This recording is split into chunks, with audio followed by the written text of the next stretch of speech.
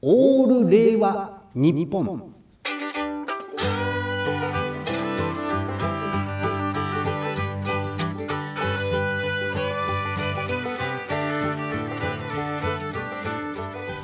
始まりました。オール令和日本。山本太郎と。よトニー松岡です。ろしくお願いします。お願いします。まあなんかぐだぐだと。前回ね、すみません。なんか話があっちこっち行っちゃって、とんでもない、まあ、あの今私たち令和新選組では、はい。東京都の都議会議員選挙。ここに令和新選組という看板を背負って立候補してくれる人大募集ということで公募を行っております、はい。えー2月20日締め切りということですので、ぜひあのやってみたいなと思う方がいらっしゃったらご応募いただきたいというお知らせから始まったことなんですよね。そうですね。でそこにまああのかといって今までその選挙の経験ない方が立候補するのって結構ハードルが高いというかどうなるかわからない自分でできるんだろうかっていうようないろんな思いあると思うんであの、まあ、参考にしていただければということで代表の代表が、えー選挙に政治に足を踏み入れたところの話を前回聞こうと思ったらあのよくよく考えると代表の場合はあんまり例にならないというねことがいろいろ見えてきたんですけど代表の特別ですか？ら べ別普通の人とはちょっと全然違う状況なので。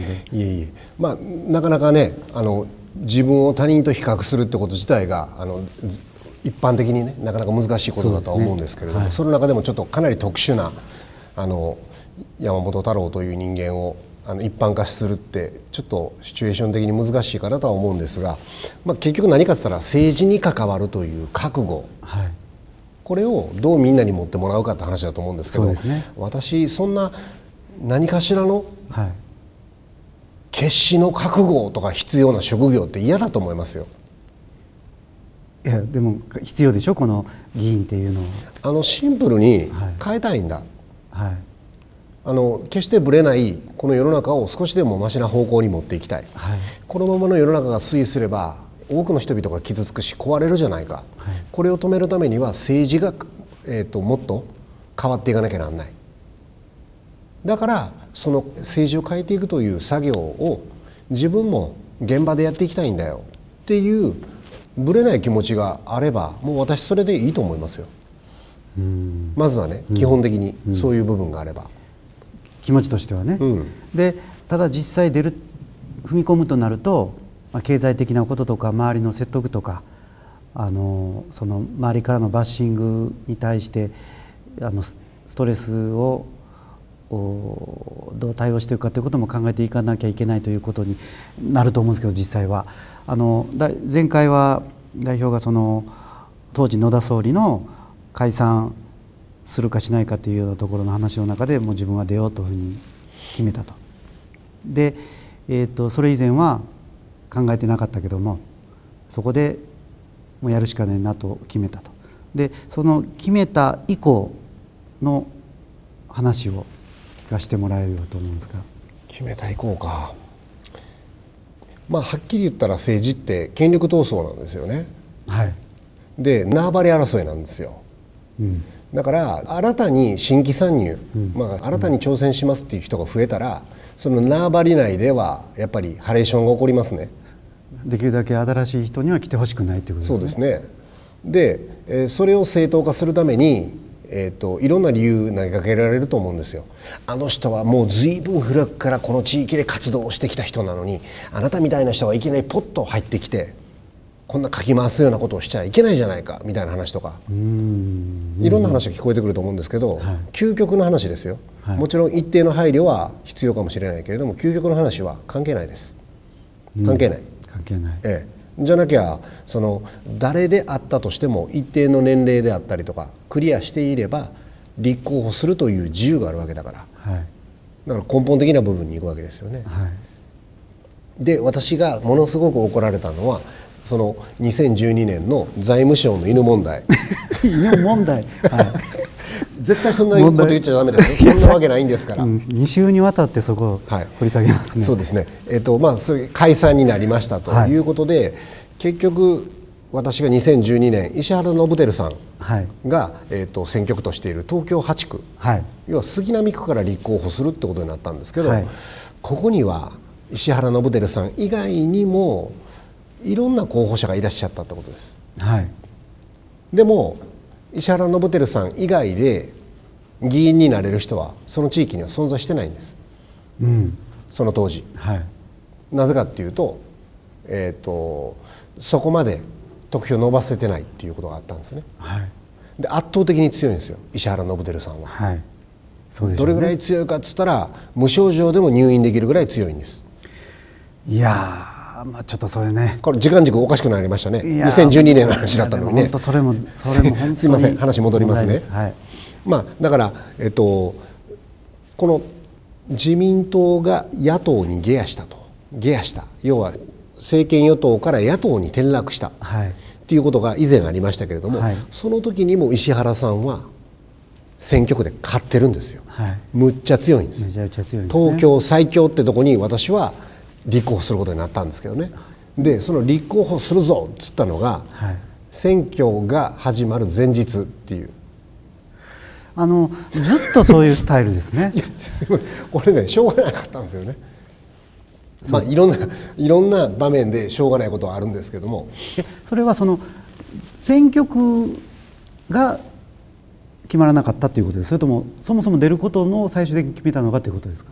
うん。もう出るってことはその1か月前ぐらいから決めてたんです。で、えっと、その見極めとしてどうするかっつったらやっぱり一番強いところと当たりにいかないと話題にならない。はい。話題にならなければ、えーマスコミも取り上げない。はい。マスコミを取り上げないってことは自分の訴えということも、はい。えっと、世の中に広められないってことですね。はい。でそれを考えた時になんか当時維新の、えー動きが活発化し始めた時ですかね、はい。始まったそのキャリアが始まって活発化し始めた時でひょっとしたら橋本さん？はい。橋本さんが衆議院選挙出るんじゃないかって噂もあったんですよ、はいはいはい。だから、えっと、橋本さんが出るところに当たりに行こうと思ったんですけど、橋本さん結局出ない。あじゃあ他誰のとこ出んねんっていうことになって、はい。最終的に石原さんのところになったっはいていうことですね。はい。ええ。で、えっと、前日ですよ に決めて、はい。じゃあもうここやっていうことで決めて、はい。でまずやることとしてはどうやらその日に私が決めた日にはい。その東京8区杉並ではい。野党側のはい。支持者たちが集まるようなはい。東京8区内の野党の支持者が集まるような会合がはい。開かれるらしいと。野党っていうのは当時は自民党じゃないあごめんなさいごめんなささいごめんなさいそうやな。えっとまあだから自民党公明党以外の政党のって言ったことらしいですね。でじゃあまず自分挑戦しますってことを言いに行かなきゃいけない。前日に。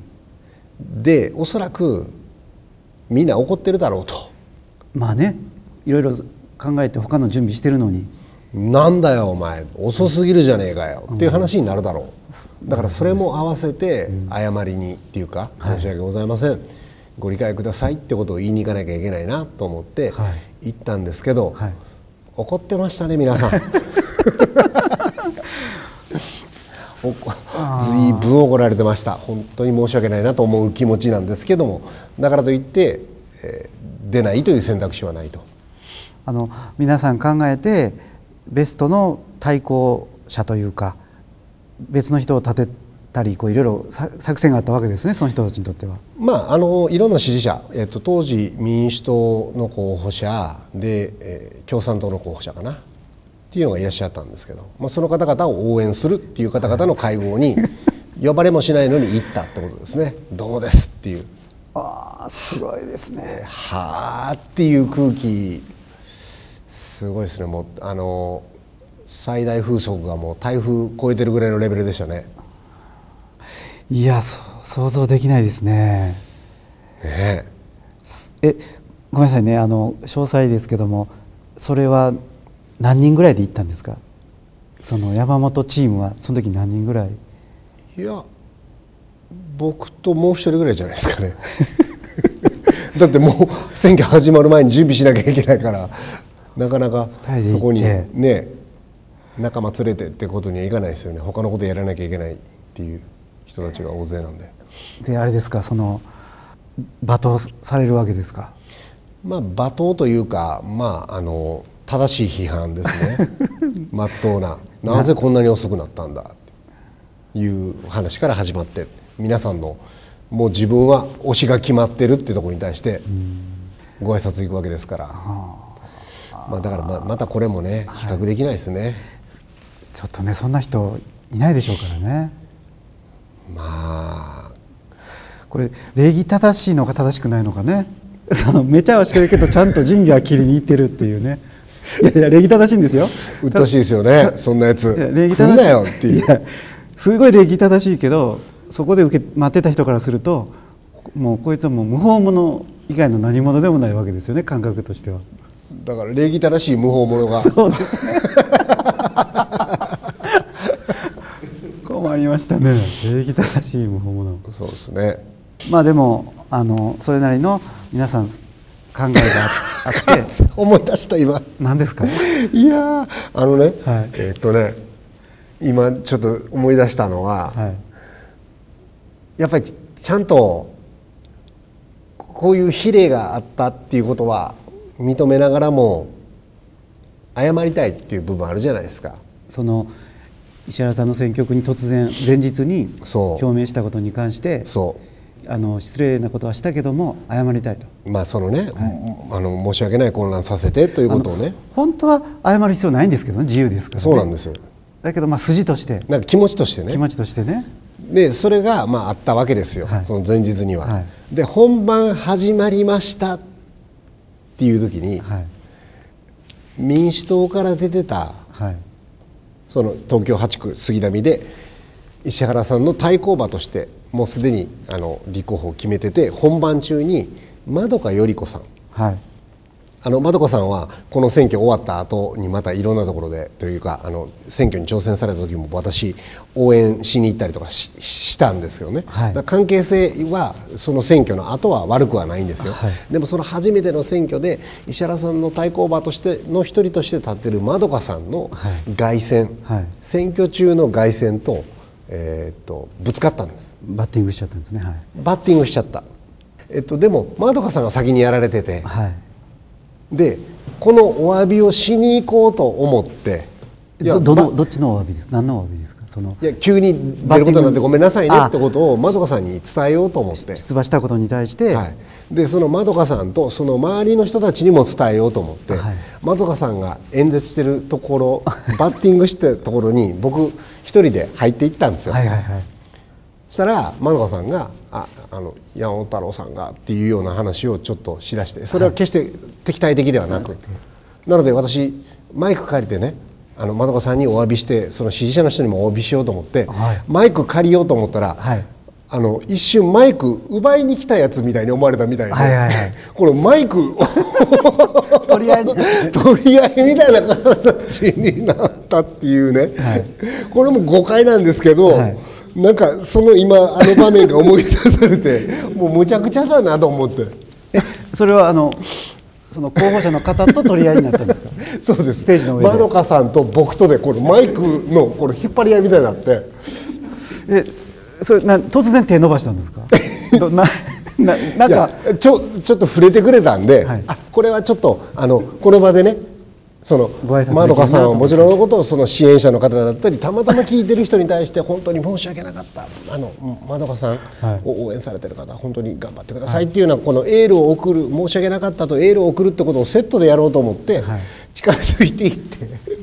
マイクに手を伸ばしたらマイクを奪われると思ったまどかさんと、い、やそういうつもりじゃないですっていう僕との間でこのマイクの引っ張り合いみたいな形になってあいつやっぱりちょっとねじ飛んどんなみたいな多分話になったと思うんですよね。評価は聞いてませんけど。何が言いたいか。心配しないでください。政治に関わったらとかいろんな心配されてる方いると思います。少なくとも皆さんは私よりも社会性あると思います。なので心配せずにそうはならないと。あの礼儀正しい無法者じゃないから。え大丈夫ですよと。それごめんなさいマイク取り合いになって結果的にマイクはどどうなったんですか？取れ取れ取れたっていうかその 借りることはできたんですか？いやあのー多分ねマイクをそのまま一旦こちら側に預けていただこうと思ったらおそらく締め技とか出さなきゃ無理な状態だったんですよ。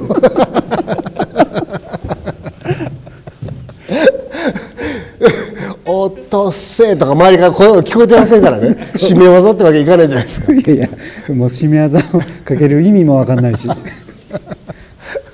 だからいや意図してる意図自分の意図してる方向とは真逆の方向にその場が行っちゃったんで。そうですよね。ええ。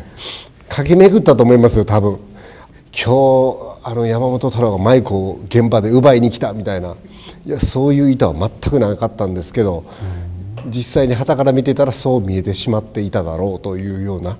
えじゃあそれでこうと奪い合いしして奪えずに降り,、ええ。降りて帰ったんですか？まあ、ステージの上には乗ってなかったんで。下から。地べ地べた 地べたですよ。ああのああのまどかさん相手の方も地べたで。ええまあ、あの 地べたで。マテコゆかさんは国会議員時代にすごくいい仕事おお仕事されてた方なのですあの尊敬すべき先輩であるんですけれども でそこに対して謝罪とエールをと思ったんですが 結果こうあのマイクを奪いに来たもう本物みたいな。えそれその後で説明はしたんですか？あのその後でも後日でもいいやご挨拶しようと思っただけですよ多分後日したと思いますね。というのはせあのまどかさんの他の選挙での応援にも入ってますから私。ああはい。してそのその時の2人の引きつった笑顔が想像つきますね。いやーだからねなんか知らない世界に足を踏み入れて、あ普通そん普通の人はそんなことしない普通の立候補する人はそんなことしないですね。普通しないでしょうね。だからどっちかっていうとあの感覚は全然まだ芸能界にいたってことですね、なんかこう誰かが MC でやってるラジオ番組にこあうあの良かれと思って。なんかね生放送の現場に行って「あ山本君じゃないの」みたいな話からちょっとちょっと喋っていきよみたいな流れっていうような一般的にそうだろうみたいな思ってたとしたらこう、ね、マイクの奪い合いに見えるような形になったっていうような。い近づいたらすっとマイクが来るかと思ってね。や手出したら来ないからなんかちょっとそのまま通り過ぎて行っちゃって。なんかこう。いやいやいやいやみたいな。いやー。あのね人生やり直したいって思ったことあります？ありますよいっぱ戻れるとするならばい そこに戻りたいんですか？いつに戻りたいですか？えー、戻るいやいっぱいあるんですけど戻れるうんえっ、と18ですかね。はあ、なぜ？あのー好きだった女の子にちゃんと好きだって言うああれ18じゃない15か。はあ。10なんかまあわかんない17とかなんか。ええ。あの人にラブラブレターをとかね書いたことないから、はい人に人の女の子のこと好きだなんて言うのってなんかすごい恥ずかしいと思ってて、うんあのずっと言ったことなかったんですよ。であのでもそういうのってちゃんと言うべきだなと思ってこれ振られたらどうしようとか言ったらかっこ悪いかなとかばっかり考えてたんですみませんちょっと政治の話離れちゃったんですけど、ええその代表のあの戻れるならそこの窓川さんのところに戻りたい。いやまたあそこから始めるのは しんどすぎます。あそのマイクをね取る取るやり取りをっていう意味じゃなくて。そのやり取りがもしも時が戻ってなくなったとしてもそれ以外にやり直したいことも多すぎるんで もう究極は戻らなくていいっていう選択になりますね。それもあります、うん、もう一回やるかって考えた時に。うん、あいやあのーどっちかっつったらもう生まれてきて申し訳ないっていうね。まああのいろんな思いがあるじゃないですか。そのあはい？どごめんなさい。どどこどこにどこに今戻りました？いやいやいやあの完璧な存在ではないわけでしょ。人間誰しも。人間誰しもだし、自分自身もそうだしっていうことを考えた時に、じゃあ一定の期間まで戻れば、はいそこからはリセットできたとしても、はい。でもその前どうすんのって話になりますよね。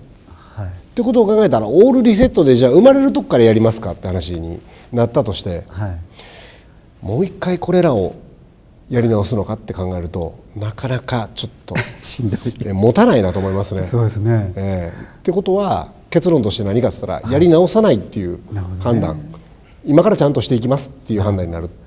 やり直せればもうストロベリー級の時からあのサラダ油を使えたんですよね。1回目から。そうですね。だから最初はオリーブオイルで入ったんで、まあ、あれでちょっと手刈りが足りなかったっていう部分はあったんで、はい、あそこからやり直すんだったらまあやりようあるでしょうね。ありますか？ありますね。分かんないけど。全然。まああありますよね、はい、わああの時に時間が戻ったらみたいな話あるけどでも結局それって、ねえー、もう一回戻ってやり直すって結構ヘビーだなって思うと、はい、じゃあ今からの行いを変えていくしかないなっていう、はい、そうですね。何の話でしたっけ一体？だいぶあちこちあのえっ、ー、と前日に立候補を決めて発表してで、ね、まどかさんとマイクの取り合いになったと。その本当に誤解なんですけどね何かこうなんだろうな。いや普通マイク取りに来たらやっぱりいやいやってなり家の中に強盗入ってきたみたいなリアクションだったんですよね。決してそんなつもりはないんですよ、はい、ね。でそこからその選挙期間、ええ、経てで、えーと、結果が出て。そうですね。でその後もやっぱり続けようっていう。でねやっぱりねまあ負けたなっていうのはまあ、結果出て負けたっていうのはあったんですけど、はい、それほど自分の中の感覚として、どういう気持ちなのかってことをはっきりと認識できなかったんですよ。自分のことなのに。その勝てなくて選挙をやりました結果出ました、負けた、はい、負けてっていうことを考えてそれを自分の中でどういう感情なのかってことをちゃんと整理できてなかったんですよね。うん、なるほど。で次の日に何かの取材を受けてる時になんか込み上げてきて、はい、でその喫茶店のトイレでなんか泣いたんですよね。取材の途中で「ちょっとすいません」っつって席外して。はあ。でなんでこんな涙出てくるんだろうなと思って自分の中でこういろいろ泣きながら短い時間の間で整理したら、うん、やっぱ悔しかったんだなっていう負けて悔しかった、うん、で悔しい理由は何だろうかって考えた時に勝てなかったことなんだけれども、うん、なぜ勝てなかったことが悔しいかってことを考えた時にやっぱりこれまで全国を回ったりとかしながら原発のことについて発言をした。そこから仕事がどんどんなくなっていく。なくなっていくけれども自分の中ではその発言をやめずに続けていくことによってさらにそれが仕事がなくなっていくってことを経験して仕事なくなった分いろんな全国で呼ばれてお話をしたりとかいろんな人の声聞いたりってことを繰り返してきた。で何が悔しかったのか負けたこと？でも負けたことでも何が悔しかったのかっていうことを自分の中でその考えた時にやっぱりいろんな声を自分が国会の中に持ってってその政治に関わってる人間たちに対してそれを伝えてっていうことができなかった、うん、いろんな言葉を託してくれたいろんな思いを託してくれた人たちから受け取ったことを自分が、えー、選挙に勝って国会の場に持っていくことができなかったってことに対して自分は実はすごく悔しいんだなっていうか、うん負けたことに対してそういう感情を抱いてるんだなってことを感じたんですよ。終わった。次の日ですねだから。なのでその1回だけの挑戦じゃだけじゃなくて次につなげようと思ったっていうのがその翌年の2013年の謎の選挙だったんですよね。参議院選挙ってことにつながっていくんですけど、だからやっぱり熱なんですよね。なぜそれをやるのかってことを考えた時にやっぱり変えたいだったりとかその自分が何をやりたいかってことを考えた時にやっぱり今の世の中ちょっと違うだろう。変えなきゃいけないじゃないか。じゃあ自分がそれをフロントマンとして現場でやっていきますよ。っていう気持ちがしっかりと持ててるならば私はどんなことでも多分クリアしていけるんだろうなと思うんですよ。まあ、収入って難しいですけどね、まあ、議席を獲得すれば給料がもらえるからそれは大丈夫だとしても、そうなっていない状態でどうやって食いつなげていくかっていう本当に目の前にある課題はあると思うんです、候補者としてどうやって生活していくかとか。まあ、その点はあったとしてもそれ以外の誰かを説得しなきゃいけないとかっていうようなハードルっていうのは、その人の持っている本気度、やりたいんだよやらせてくれよっていうその本気度が高ければ深ければ私は説得はしていける問題なんじゃないかなっていうふうに思います。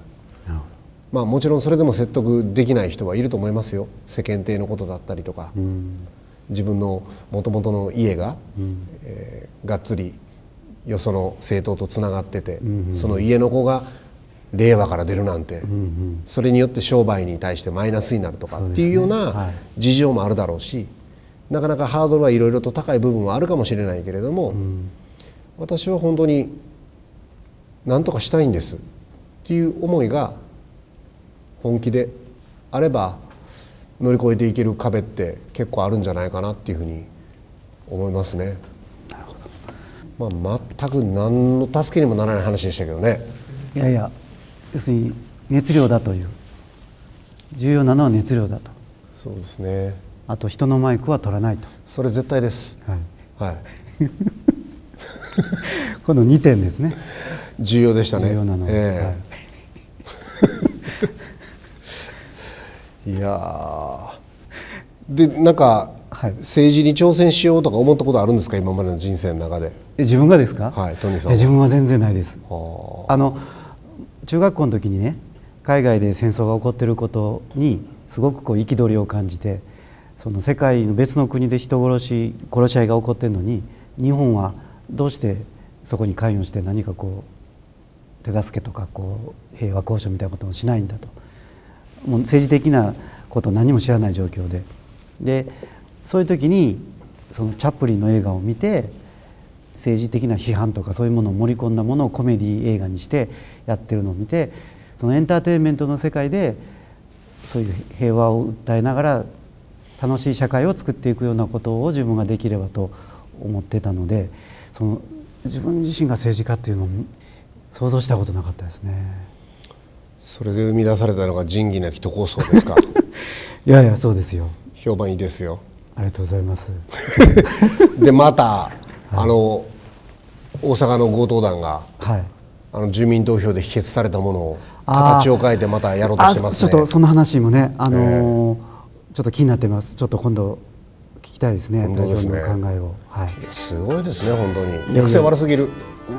ちょっとあの皆さんにもぜひちょっと考えていただきたいですねそのここに関しては。本当ですね。はい。わかりました、はい、またもうや中途半端な話になってしまいましたけどいやいやありがとうございます。ありがとうございました、はい。